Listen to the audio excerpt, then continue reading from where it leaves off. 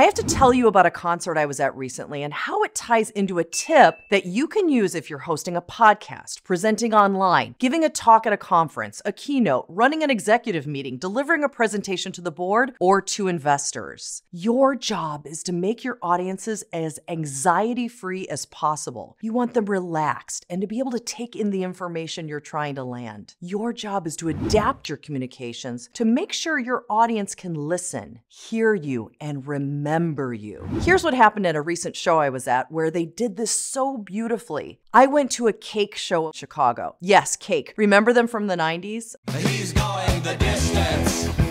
He's going for speed. Oh my God, that show was so good. And you know what? I was so relaxed and I had such a good time. No, I wasn't drinking. No, I wasn't on drugs. I was absolutely relaxed and I had a great time because of what the lead singer said right at the top of the show. John McCrea and the rest of the band came right out at 7:41. That's just 11 minutes after 7:30, which is what the ticket said, you know, the concert was going to start. You know as well as I know, that's actually not ever the time that the show starts. Usually there's an opening band and then there's a big break and then the band that you came to see at that at the ticket when it said 7:30, that band really goes on at like 9 or 9:30. And I'm going to be honest, it's getting to be a little annoying. I'm in my mid to late 40s, and on a Sunday night, I want to be home and asleep by 10 o'clock. And I have to tell you, when that band came on and John said the following things, it was pretty amazing and it made me feel so comfortable where I could just have a great time and dance and listen and appreciate awesome music and really the cleverest lyrics, right? Here's what he said Hello, good evening. There's no opening act. We're here. This is just a night for the band Cake.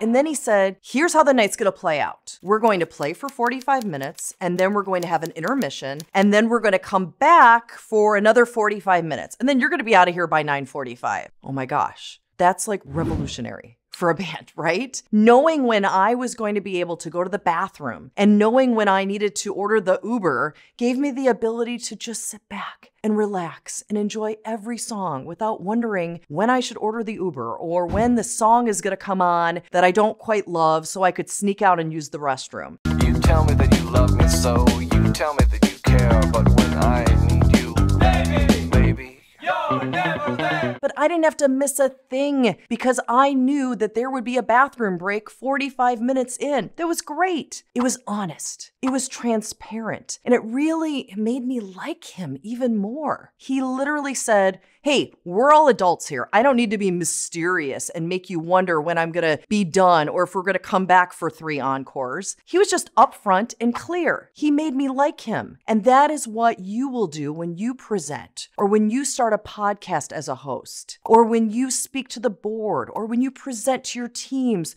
or when you do a keynote. Tell them what they're going to get and how you're going to deliver it and then give it to them. And then I always like to remind them at the end of what we went over. It helps land your message and stick with your audience. Allow people that ability to be anxiety free and relax and know, hey, I don't have to leave here because in 20 minutes she's going to be done and I'll be able to go get a drink or water or I can go to the bathroom or, you know, I'm going to have time to ask him that personal question when I see him at the booth afterwards because he mentioned he's going to be here during the entire conference. Adapt your communication to what you think they're wondering or what they might be asking in that moment inside of their heads and answer the question, answer that elephant in the room. Allow them to relax and absorb your and remember you. This is exactly how you make the biggest impact anytime you're presenting.